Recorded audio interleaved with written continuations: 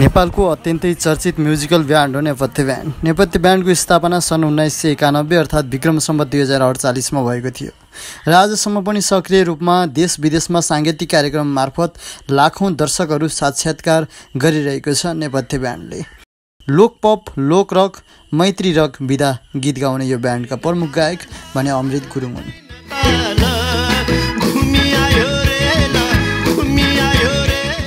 हिजोदेखि आजसम्म उनीले नै त्यो ब्यान्डमा गीत गाइरहेका छन्।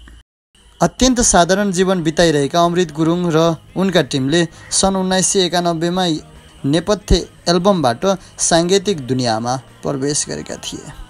त्यसपछि हिमाल चुचुरो उन्नाइस सय त्रियानब्बेमा मिन पन्चासेमा भन्ने उन्नाइस सय पन्चानब्बेमा शृङ्गार उन्नाइस सय सन्तानब्बेमा रेशम दुई हजार एकमा भेडाको उन जस्तो दुई हजार तिनमा घटना भन्ने गीत चाहिँ दुई हजार पाँचमा र मेरो देश दुई हजार नौमा र ऐना झ्याल दुई हजार दसमा सार्वजनिक गरी नेपाली साङ्गीतिक क्षेत्रमा ब्यान्ड मध्येमा एक छत्र आफ्नो राज जमाइरहेको छन्।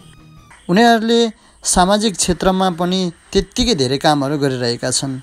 नेपथ्य ब्यान्डले गाउने गीतहरू सामाजिक विषयवस्तुमा पनि एकदमै धेरै गाइरहेको देखिन्छ। घटना एल्बम त माओवादी जनयुद्ध कालको विषयमा लिएर बनाएको वास्तविक गीत हो। सम्भवतः यो अहिलेसम्मकै सबैभन्दा लामो गीत पनि हुनसक्छ नेपथ्य ब्यान्ड आज सक्रिय रहिरहनुको योगदान भने समूहका प्रमुख अमृत गुरुङलाई दिन सकिन्छ।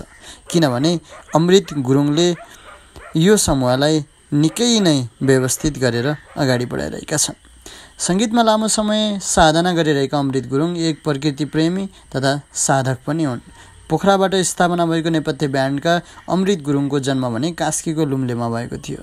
सामान्य कृषकको छोरा अमृतले आज पनि म कृषकको छोरा हो म कृषक नै हो भनेर बताउँछन्।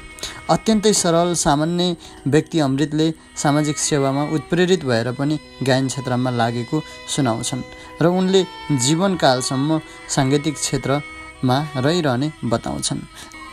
आजसम्म जम्मा उन्नाइसजना सदस्यहरू रहेको यो नेपथ्य ब्यान्डमा अमृत गुरुङ सुरज थापा सुबिन साक्य निखिल तुलाधर निरज गुरुङ हरिम अर्जनले आजको दिनमा सम्हालेका छन् र नेपालय भन्ने संस्थाले यो ब्यान्डको कार्यक्रमको व्यवस्थापन गरिरहेको हुन्छ।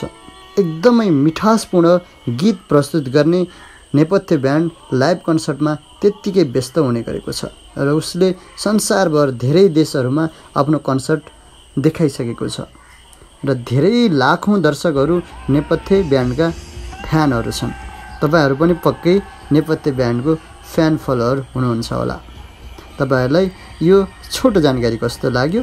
अझ धेरै जानकारीहरू मैले तपाईँलाई दिने नै छु। नेपथ्य ब्यान्डको विषयमा अझै धेरै आन्तरिक कुराहरू तपाईँहरूको माझमा ल्याउने नै छु। नेपथ्य ब्यान्डको विषयमा बनाएको यो सानो जानकारी तपाईँलाई कस्तो लाग्यो? यदि राम्रो लाग्यो भने लाइक कमेन्ट सेयर र सब्सक्राइब गर्न नभुल्नुहोला। आजलाई भने यति नै। भोलिको दिनमा म तपाईँहरूलाई फेरि अर्को जानकारी लिएर आउने नै छु। हस्त नमस्कार।